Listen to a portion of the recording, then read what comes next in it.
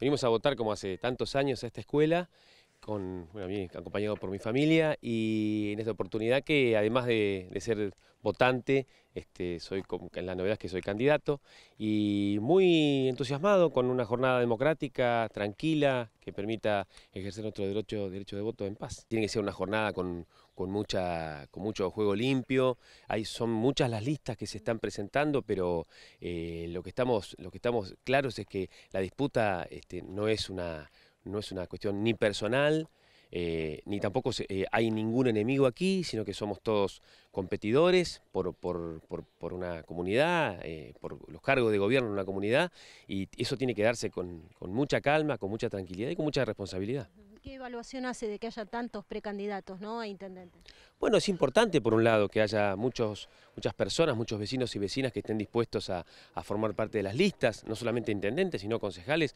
Son decenas de, vecinos que están en condiciones de, ser elegidos. Así que para mí una gran alegría todo lo que sea participación, sobre todo de la juventud, que también hemos visto en nuestras listas y en otras listas muchos jóvenes. Eh, eso es lo que nosotros queremos, que haya más participación y más este, ejercicio democrático. Ayer parecía que no había un interés por el tema del voto, por el tema de las pasos, pero realmente viendo esto veo que es importante, la gente sabe qué es lo cívico, la gente acude y bueno, cada uno va a elegir, ¿eh? va a elegir hoy eh, su boleta eh, y bueno, más adelante veremos eh, la general. Mapu es una tendencia joven, un nuevo movimiento de compañeros y compañeras.